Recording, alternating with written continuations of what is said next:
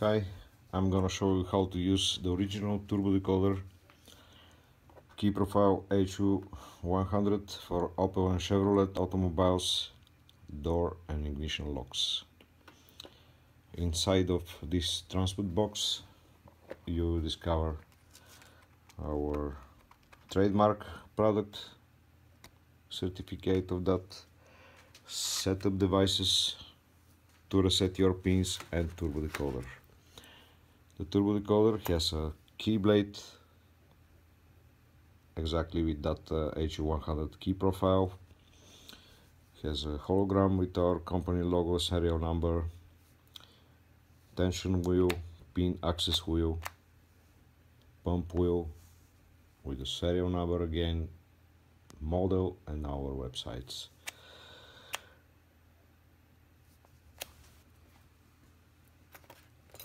The pins of these two are ready for for action. This is a key blade this is pin access bar. To insert and extract the tool and this is the pump bar. And here we have indication for the stop points. When we have the lock mounted like this I will test one Opel lock for you. This is a key profile. When the pins are ready, and I will show you how to make them ready after the opening, you have to insert the tool into the lock and discover the orientation. Just push forward, rotate to the right the back wheel, keep the tool on the middle ring and gently insert it all the way into the lock you touch the bottom of the lock and now from here pull back uh, push forward the handle. If you see this movement it means that the tool is not correctly inserted. You have to rotate it. Click like this extract reverse again keep it in the middle and insert Touch the bottom of the lock and check again. If nothing happened, that is the position and orientation for that lock correctly. Two fingers here, pull back that middle ring. You see stop points, one, two and three. During the procedure I'm gonna show you, you have to follow those stop points exactly as you see on that video in order to apply the correct procedure. Tension on the front wheel the right, start rotate the back wheel to the left till the line come to the first number. 1. Line to 1. Turn back, loose, check. Tension to the other side, 1 again, turn back, check. Now you have to repeat the same, the same, the same for next 20 times. Every time stop at 1. Pay attention on your tension force if you tension too much, the lock will turn without opening because of the protection, force protection. So the tension force you have to apply must be a little bit less than the engagement of that uh, of that clutch or tension uh, protective, protective, protective mechanism. And don't forget, stop at one, for next 20 stops. Check. One turn back and check. One turn back and check. When you finish those 20 stops at one if the lock is not open you have to increase the rotation of the back wheel and point the line to the second stop sector. Now you have to repeat that second stop sector for another 20 times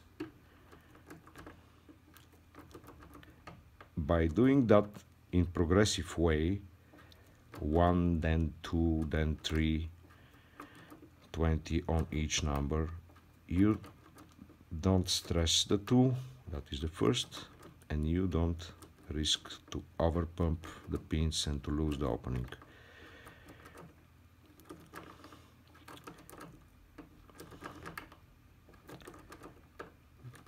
Just patiently follow the steps. you see the lock turn now smoothly like a key. Uh, but if you fail to open it at the second stop point you can increase the rotation and stop at 3 for 10-15 pumps. If you fail also there extract reset the tool and try again. Okay this is the door lock if you extract the tool to do that just turn to the right stay in neutral lock position and push to the front. This wheel now you're able to extract the tool only in that condition. This is the the ignition lock. If you didn't reset the tool from the door you can turn the ignition. It's matter to discover the orientation only. Again insert from here push forward if nothing happen you're okay. And you have a key also for this because the two remember the code of the lock door lock. And that is. Or you can also directly manipulate the ignition. I will show you. If the lock is door lock is damaged you just come here and try the ignition directly but the reset procedure. Look how to reset your tool. To reset the tool you need only the specific HU100 calibrated device. Push forward come to the right and only here at the holes at the side you're allowed to insert that needle and push it. Finger here to avoid bendings, go in the hole and push. The shoulder of the device will stop and that is the start position of the pins. All 8 pins must be pushed in this way to be in the start position. Pull back, see your pins all in line of the start. Insert the tool all the way into the ignition, check if you see this not correctly. Extract, reverse, insert again. Check, nothing happened, pull back.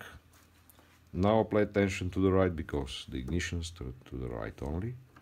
And repeat the same story, one, one, for next 20 stops.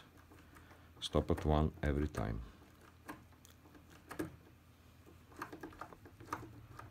The lock turn.